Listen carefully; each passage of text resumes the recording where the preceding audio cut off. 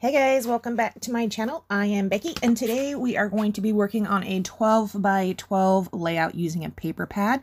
I'm using this one right here. It is, don't remember the name, but it's very heavily travel themed.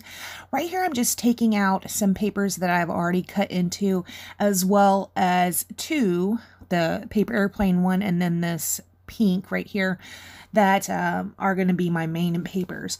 I did just want to kind of clean this up a little bit. This is a paper pad I've used several times and it was just laying on my floor. So what's happening over here is I'm trying to clean up my room a little bit and of course, you know, as I'm cleaning it, I have to be making things at the same time because I get like, you know, distracted.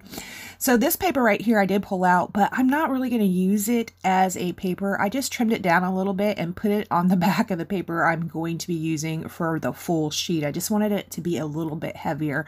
This particular paper pad, while it's not super thin, um, it's not super thick either. Now, used to that wouldn't have bothered me. I still would have just used that as a background, but I'm going through the little bit of a phase here recently where I'm really liking my layouts to be uh, more sturdy. So I have been putting backing on the backs of pretty much all my layouts.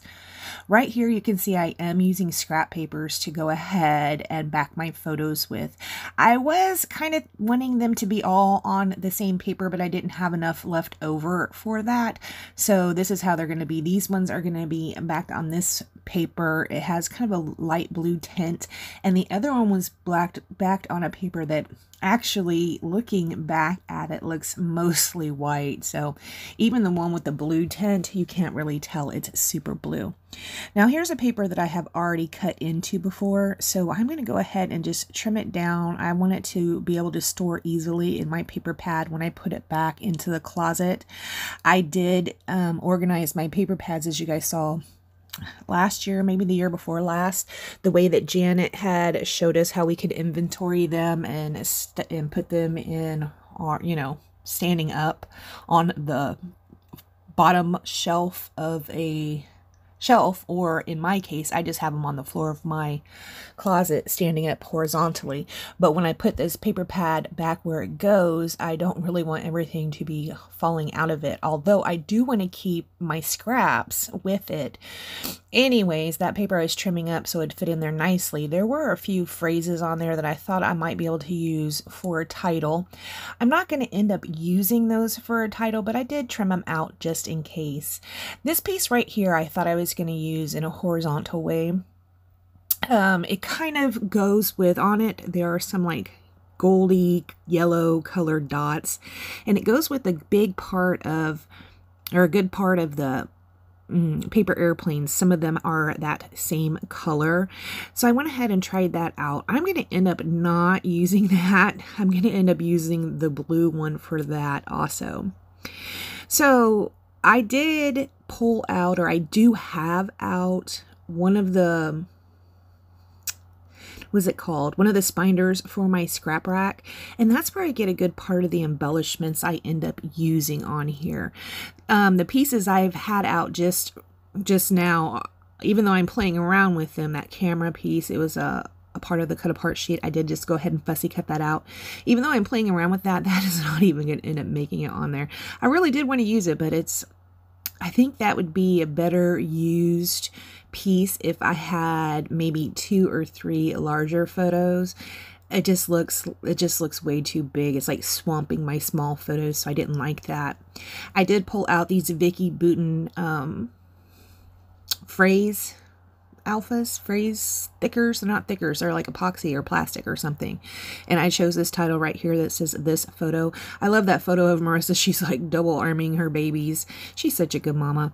Riley's sleeping, but Riker, he's just laying there with his eyes open. I do have close up photos of the kids over on the left hand side there. So here's a, P, er, a pack of ephemera I did pull out the scrap rack. This is the Good Vibes ephemera. I picked these up at Tuesday morning several months ago. Hadn't broken into the pack yet. So I do just go ahead and break into it on this one. Um, I only end up using one piece from here, but you can see these cork stars I pulled out. They kind of gave me an idea of well, cork stars, and I know I have some cork. So I am going to go away and grab my little piece of cork in some steel dies and go ahead and cut out several smaller sized um, cork stars. See these stars? They're all the same size, and I wanted them to be not. I wanted some smaller ones. So yes, I did. You can see over on the right hand side where I used that cork. I had picked up this pack. It might have been at Tuesday morning, could have been at Michael's. I don't know. It was on sale and they were called banners. So you could cut out these cork banners and, you know, make a banner. Well, that's not why I wanted it. I just wanted it for the cork and it was on clearance. So I did go ahead and pick it up. And look here, finally it came into use. So the little stars that I used for my steel die are from Stephanie Barnard. You have seen me use those plenty of times before. I do love that star set.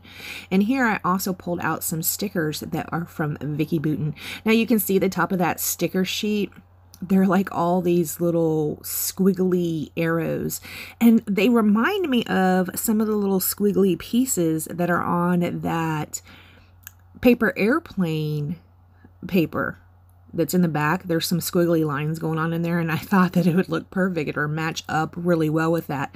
So I am going to be using several pieces from there. I tried to use them all, and actually thinking back, I'm not even sure if I did get them all used or not, but they're very subtle, except for in the close-ups. But when you look at the, you're looking at the layout like right now, they're pretty subtle.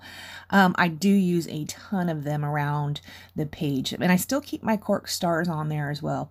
I had actually thought about changing the color of those cork stars, maybe putting some acrylic paint on them, but I just went ahead and left them cork. That doesn't mean I can't go back and change them at some point. Of course, there would be... Um, uh, opportunity to mess up though if I did that right I'd get paint all over the paper also in this sticker pack that was from Vicki Boutin, there were some word phrases. So down there at the bottom, I put moments like these. And up here at the top, I'm putting snapshot. Now you can see I pulled out two of those circles too, and I popped them both up on some pop dots. Hashtag awesome and good times. Well, looking back at this, I really wanted a little bit more black up at the top. I just have a little bit of black and actually it might possibly possibly be navy blue that's in that number one fan. I wanted another piece of black up there, but I didn't see a circular sticker that I particularly loved. So I will go back through those word those word stickers and see if there's something I can put up there and I will find just a little word that says hello. Right here I did have a little bit of white space between that word strip and my title block. So I just stuck a little cork star up on some foam tape and go ahead and put it down here. Here's where I'm hunting for some more black to be up there. I just wanted those, see those two circular black pieces? I just wanted a little bit more black. So there we go. That's what I ended up going with is just a little word and it says hello. So after I do this, I am not going to be doing anything else to this layout, guys. And thank you so much for joining me. And uh, check the links down below. And I will see you next time. Bye, guys.